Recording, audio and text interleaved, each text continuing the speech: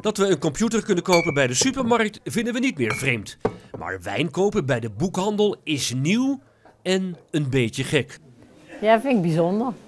Laat ik het zo zeggen. Ik kan wel zeggen raar, maar het is gewoon bijzonder. Ik vind het eigenlijk wel raar. In eerste instantie is het raar, maar ja, ik denk dat je er gewoon eventjes aan moet wennen. Als ik hier nog als geregeld kom, had ik nooit de link gelegd dat men ooit hier in het assortiment wijn zou opnemen. En zo reageert bijna iedereen.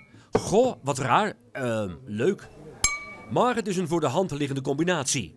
Goed boek, goed glas wijn. Nou, wij zijn lid van de Libris. Dat is een samenwerkingsverband van ruim 100 boekhandels. En die zijn zeer geïnteresseerd in hoe het hier zal gaan.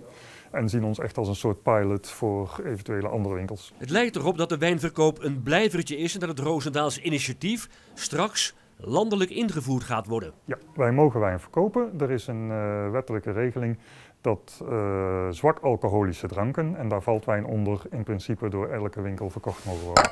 Maar openmaken en lekker slobberen is verboden. Waar komt dit vandaan? Even goed lezen. Oeh, Spanje.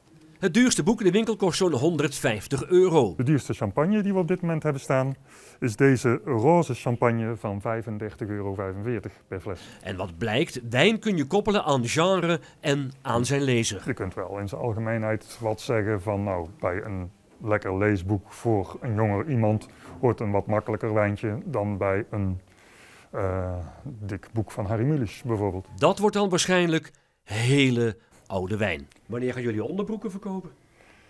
Uh, zo gauw als we denken dat dat ook iets toevoegt aan het genieten van een boek. De onderbroek zal er voorlopig niet komen, maar wijn lijkt de boekhandel in Roosendaal veroverd te hebben.